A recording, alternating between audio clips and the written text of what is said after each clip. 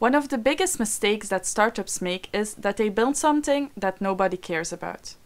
This can be about a smaller product feature or part of their service, but still they invested time and money to build this.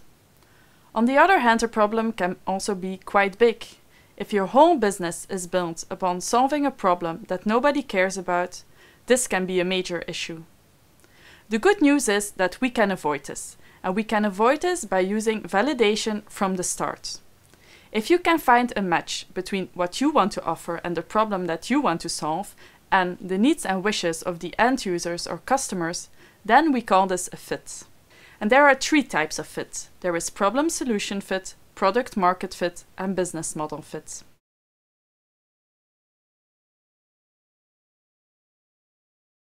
To achieve problem solution fit, you need to have proof that your targeted customers care about a problem, the problem that you are solving.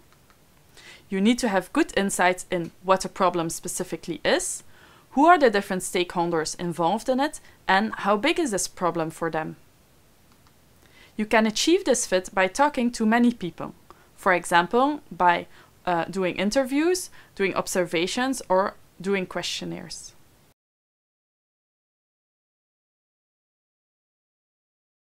The second type of fit is product market fit. To achieve this fit, you need to have proof that your targeted customers care about the value proposition that you are offering them.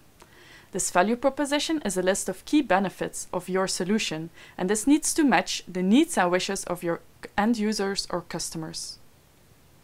You need to have proof that these end users or customers are interested in your solution because it solves one of the problems they care about.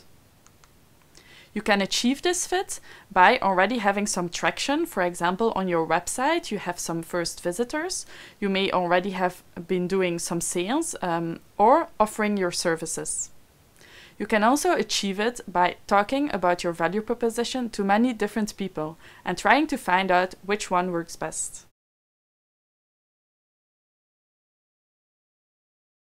The third type of fit is the business model fit. In order to achieve this type of fit, you need to have proof that your customers are willing to pay.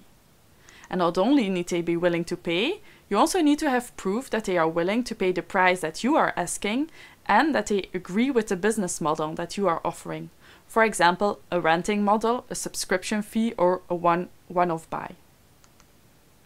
You can achieve this type of fit by scaling up the number of customers that you have and to prove that you are, have a profitable business. Keep in mind that these three types of fit are in chronological order. You first need to have proof about the problem solution fit, then about the product market fit, and finally about business model fit.